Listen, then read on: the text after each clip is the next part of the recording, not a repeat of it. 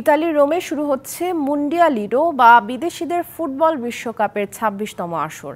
বাংলাদেশ যুব ক্রীড়া সংস্থা ইতালির সহযোগিতায় বাংলাদেশ সহ খেলছে চব্বিশটি দেশ। ইতালি প্রতিনিধি আমির হোসেন জানান, ক্লাব ইতালিয়ার আয়োজনে মুন্ডিয়ালিডো ফুটবল টুর্নামেন্টের আনুষ্ঠানিক গ্রুপ বাছাই পর্বে এফ গ্রুপে বাংলাদেশের সাথে রয়েছে ইতালি, ইউক্রেন ও মালি। বাছাই পর্বে ইতালির ক্রীড়া সম্পর্কিত বিভিন্ন পর্যায়ের বিশিষ্টজন উপস্থিত ছিলেন। মুন্ডিয়ালিডোর এই টুর্নামেন্টটি বিভিন্ন দিক থেকে বাংলাদেশের জন্য বিশেষ গুরুত্ব বহন করে বলে জানান বাংলাদেশ দূতাবাসের charge d' affaires Mohammad Jasimuddin.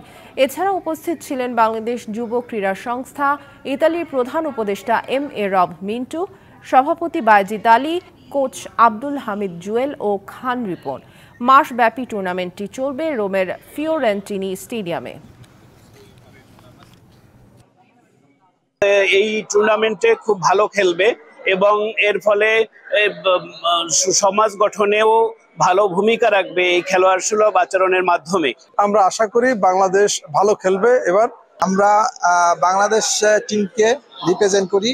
Bangladesh যুব ক্রীড়া সংস্থার উদ্যোগে বাংলাদেশ টিম অংশগ্রহণ করছে।